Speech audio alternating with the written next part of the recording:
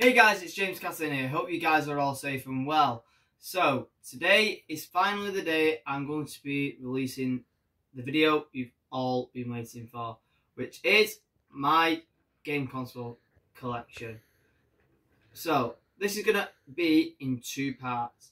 Part one is going to be me showing off all my consoles, what I have got, which they are right in front of me at this moment. And part two in a completely the next video on my channel is do they still work? We'll get to find out that a little later on. Let's crack on with the first console I have got. So, before I start, these consoles that I have got, they are either things that I've actually bought, been given via a neighbour, or been given via a friend.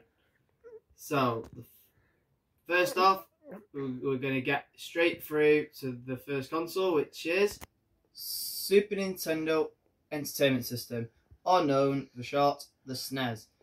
As you can see, this is the PAL version of the console. As you can see there, it says PAL version. And as you can see on the front, it's got the power, where you turn it on, turn it off, the reset button, and the eject button when there is a game in it.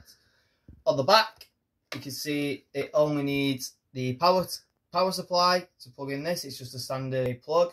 You can use either the the SNES, the NES, or the GameCube wire, which will automatically connect to your TV if it's either a standard or a HD.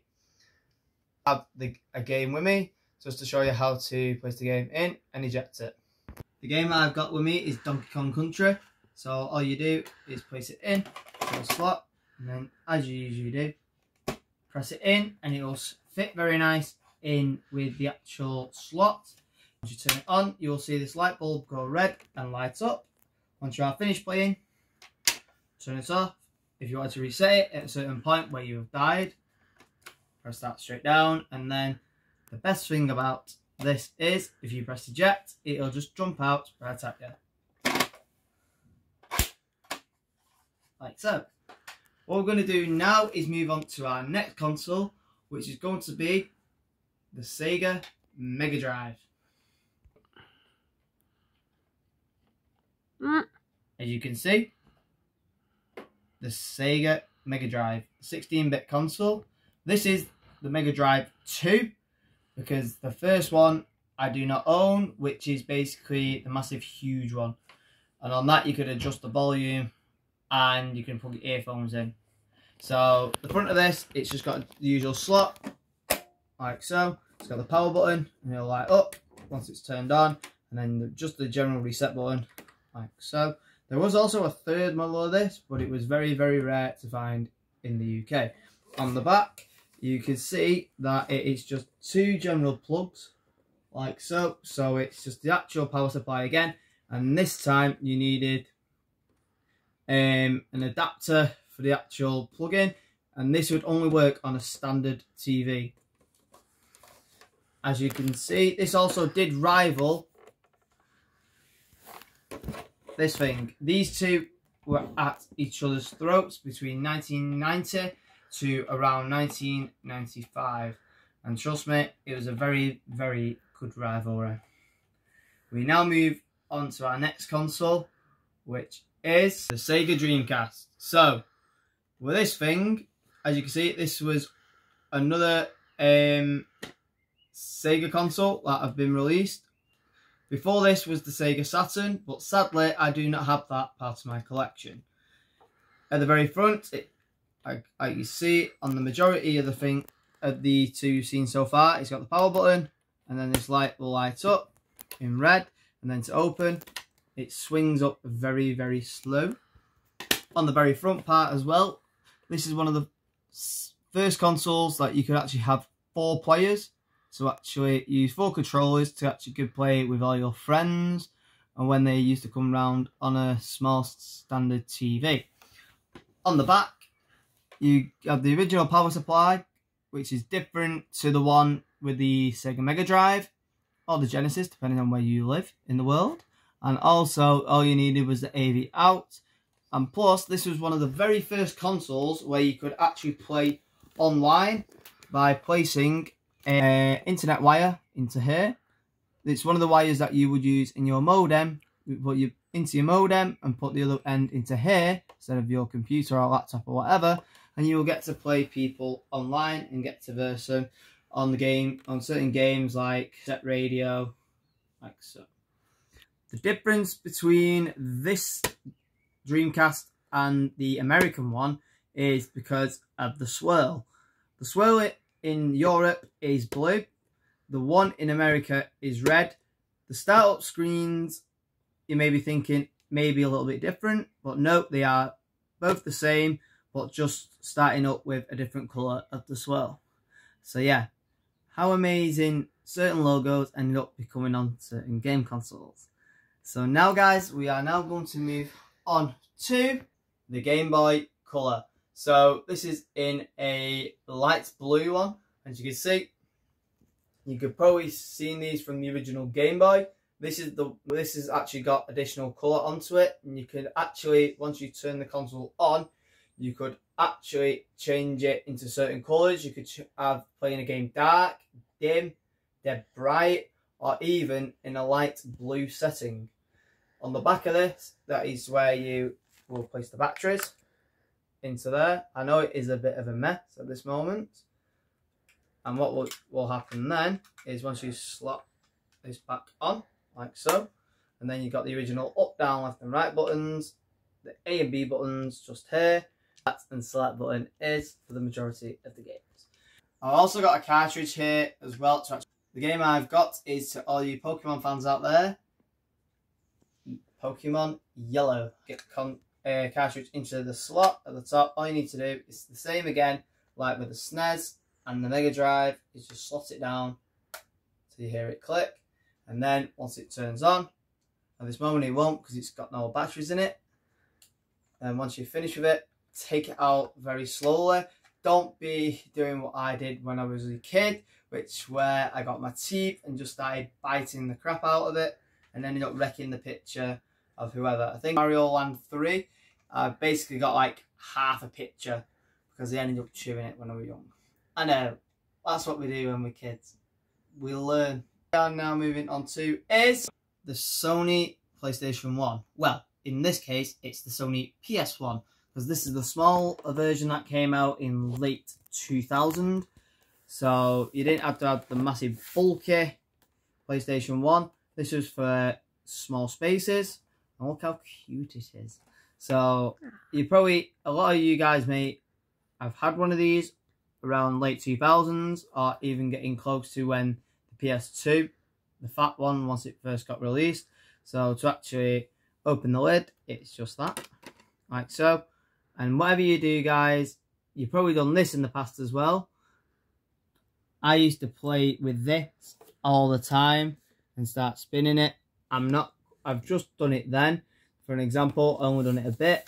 But if you consistently start spinning it like mad while there's a disc in there, it will end up wrecking your discs and they will get scratched and damaged. So just a warning, please don't do that. And once you close it, all you do then is press the power or reset button. You didn't have a reset button on this, so it would come with a power as soon as you hear this noise. So that's to start the game and then you'll hear the disc spinning like mad inside and then turn it off you press the button again. On the back it's just the PlayStation Vault is needed for this. You cannot use any other plug. All you need is an AV multiple out as well. This will also work with the PlayStation 2 wire that will come with your PlayStation 2 and the wire if you have a SCART lead for the PlayStation 3 this is also one of the first consoles you could actually save data on as well. So you've got the two memory card slots here, like so.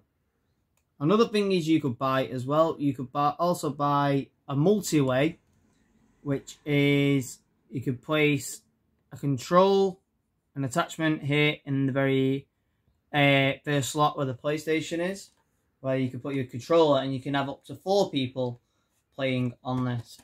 Just like the Sega Dreamcast, what I've just shown previously. Next, guys, we are going to move on to, now got the Game Boy Advance. So with this, it is the one up from the Game Boy Color, with this, it is a little bit wider and you will also, it's the same buttons you get on the original Game Boy, just spread out a little bit. And also you get the L and R buttons as well for left and right. And you put the games there in the very top there, like so. And if you turn on the power like so, oh, that wasn't meant to happen. So, uh, so that's how it turns on. And then once the game comes on, it will say Game Boy and actually say Nintendo on the actual video itself. With this as well, you can also connect a wire to the top here, and you can connect this to a Nintendo GameCube. Funnily enough, guess what next is? The Nintendo GameCube. As you can see, this could actually connect up with the Game Boy Advance. All you'd need is a cable which goes from here all the way into this area here, like so. This is another console. I think this is the third console I own where you could actually have four slots here and you can connect with your friends like so. And luckily enough, there is also a memory card shown in here as well. And as you can see, there is only 59 block we're allowed. And if you probably didn't notice, on a lot of Nintendo stuff, the save data was their blocks. So you could only save so much on it. Once you place that in, place it into that slot there. And it'll click just to say it's in. On the very top, you've got the power button. And this red, this button here will go to red. So light up, reset, like so. And when you press open, that is what it looks like. Same again, guys. Do not touch that area like so. On this one, you can't help yourself because to actually get the game out, you have to press down to actually get the discs out of the system. And it, as you probably notice how small the actual discs were, if I actually just place down the lid, where it says Nintendo GameCube, that is actually how big the actual discs were for this console. And this is a platinum version as well. The original one is purple. This one is very rare. There was only, I think there was only a million copies you could get of this console. On the back, it's just the original same for the, like I mentioned before, it's the same wire you can use for the SNES or the NES. Just a different wire you plug in here for the power source, like so. And on the bottom, the GameCube's got so much. For this here, it's got three things here. You got something known as the high-speed port, which all you have to do is pull that out. And you get this area here. You also do have this area here, which is one of the special ports, special port 1. And also you have special port 2. These two areas here, this big block, is actually used for something known as the Super Game Boy. This is also on the SNES as well, but I did not show it due to certain reasons. So if you end up placing the bits here into these two slots, you could actually play original Game Boy or Game Boy Color games or even Game Boy Advance games on the GameCube. Next, we are going to move on to PlayStation 2. So I don't think I need to go through a lot about this because I know the majority of the world had one of these because it was the best-selling console ever. So as you can see at the very front, that's where the controls go, that's where the memory cards will go, like so. Place that into there like so. I've got a red one, which is cool. With the logo, you can end up spinning it round.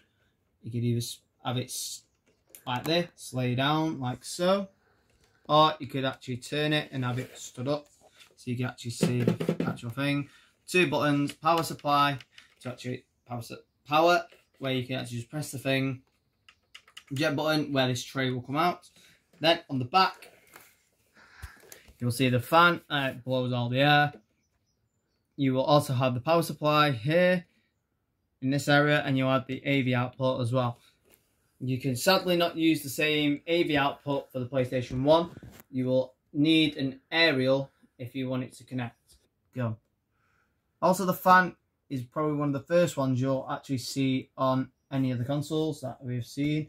You may have seen it very briefly on the GameCube, but this is the one where you actually see the full fan blazed out, like so. There is also something known as an expansion bay, which is here. I sadly cannot get this off. It is very tough.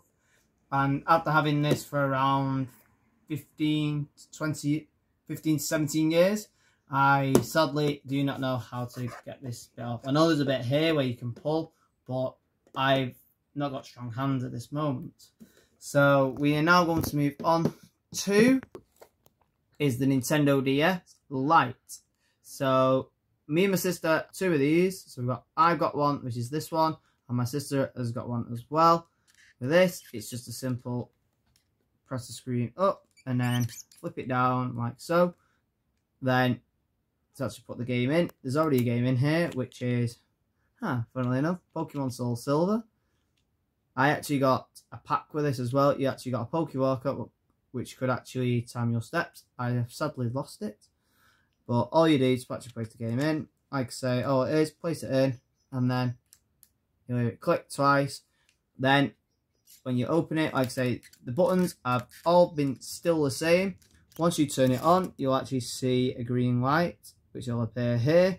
Depending on what the battery life is, it will go red and here as well if it will need charging. And also on the very bottom, which is this area here, you could also play Game Boy Advance games if you wanted to. Now, we are now going to move on to a big rivalry that happened in the gaming world. So the first one out of this series is the Nintendo Wii.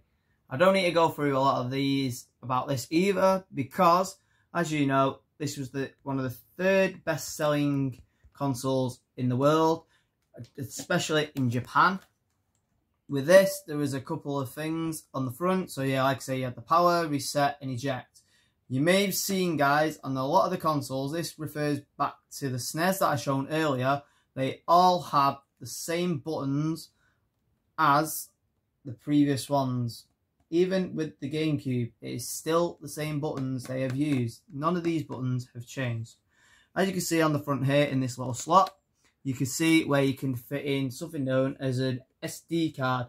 This is where you could actually save any games if you could not save them actually via the console if you was playing too much uh, Wii Sports, Wii Party, Wii Play, Mario and Sonic at the Olympic Games, which is one of my favourites that I played. And then on the very top, which you've got here, you could also transform your Wii into a GameCube itself where you've got the four slots here where you could actually plug in your uh, actual controls. You can have up to four. And you could even use these on the Wii games as well to help you out on the likes of Mario Kart. Is where you could put your GameCube memory cards as well if needed. And you could transform your Nintendo Wii into a Nintendo GameCube. Also, you could get a load of accessories for Nintendo Wii. You could also get stuff like an additional gun. You could also get a Guitar Hero guitar, which you've probably seen in my gaming history video. Go and check that out as well. Um, a nunchuck as well, if you are playing games left, right and centre, or if you're rowing, or playing archery, or something like that. So that's Nintendo's first one. Next, we move on to, from Microsoft, is the Xbox 360. Now, with this, I do not own this. This is actually my sister's. So at the very front, as you can see here, that is where you can put in like your USB cables or if you have a control pad, you have a lanyard, connect it to your control so it saves you actually buying batteries for the actual control pads every so often. This is the button where you will turn it on. These here are the memory units you can place here. And if you do get the red ring of death, at any point. You can actually press this button here and then there is a way you can sort out. That is where the tray is, where you can actually place the games. And then all you do then is press this. It's actually where the game comes out. On the back, I have actually got a couple of additionals for this console. So on the back, this here is where the power supply will go. It may be a little bit different because on this, this is something known as an intercooler. So when the fan is actually blowing like mad, where it is very hot, you can actually place the this on the back of it and it will keep it nice and cool. And also we do have one of these things here which is known as a eh, Wi-Fi router which is basically depending on where the Wi-Fi is in the house this will actually extend and actually give you good better graphics with your Wi-Fi and it will not connect. And finally the actual hard drive on the top itself. So this is where all your saved data will go. And moving on to the Sony aspect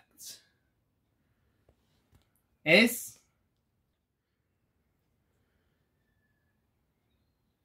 the PlayStation 3 or shall we say the PS3 Slim which is what I own.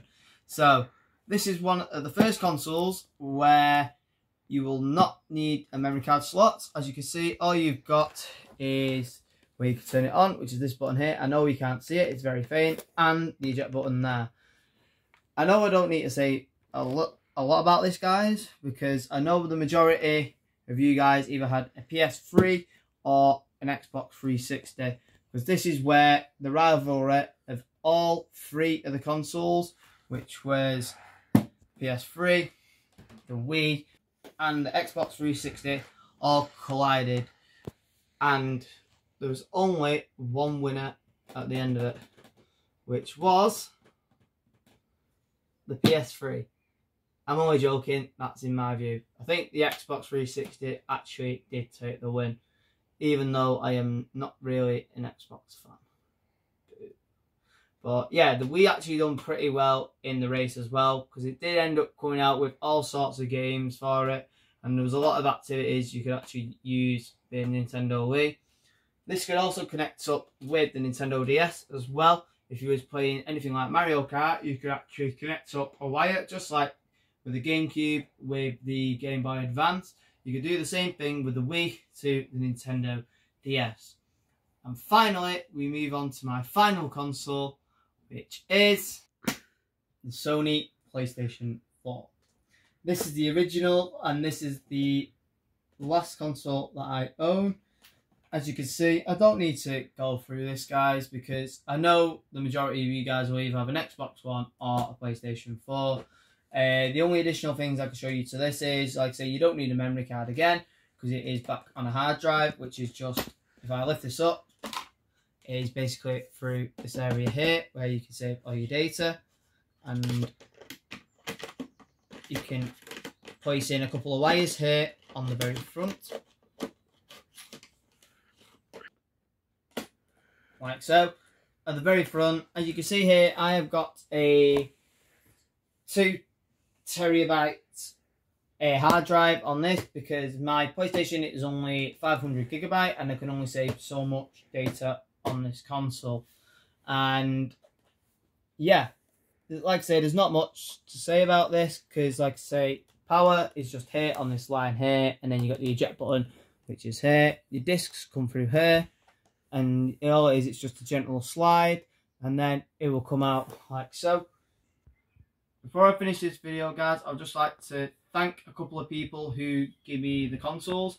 So for the SNES and the GameCube, I would like to thank my ex next door neighbour who used to live not right on the wall, just next door to me here. He actually gave me them two consoles at the same time, so I really much appreciate it. I would also like to thank to the anonymous person who gave me the Sega Dreamcast, and a very special thank you to Bill who gave us the Xbox 360 but I'm sad to say Bill is sadly no longer with us at this moment. So all the best, Bill. And finally, thanks to you guys for requesting this video. Because this video actually I've put a lot of hard work into and it took me days and days and days to get this video done. And due to the light outside as well, everything to get this perfect. Thank you very much for watching this video guys. Don't forget to hit a thumbs up on the video if you have enjoyed this. Also put in the comments below how your game console history actually started. So like mine was the SNES and so on. You could put yours was the PS2, oh then it went back to the PS1, etc. Please subscribe to the channel as well if you are brand new around here and hit the bell button as well to see notifications when I come up on your precious little devices like your laptops or your mobile phones. And any more requests that come around, I will try my best to do so. And I will see you guys in part two to see if all these consoles still work. Well, one of them does, as you've already seen.